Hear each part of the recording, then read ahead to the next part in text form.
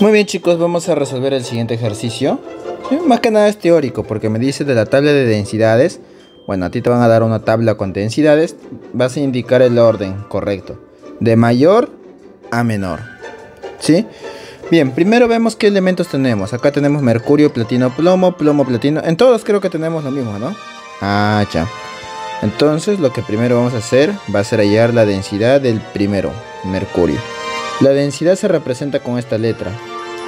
La densidad del mercurio, algunos le ponen mercurio o Hg, que significa mercurio también.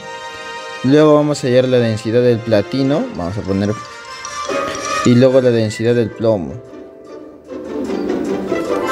La densidad eh, del plomo creo que es Pb. ¿Ya? Vamos a hacerlo en orden.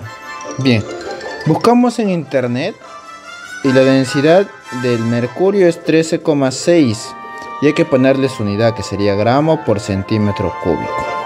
¿Sí? La densidad del platino es 21,1 gramo por centímetro cúbico y la densidad del plomo es 11,3 gramos por centímetro cúbico. Ahora lo que tenemos que hacer es ordenar de mayor a menor. ¿Quién es el mayor de los tres? El platino, ¿no?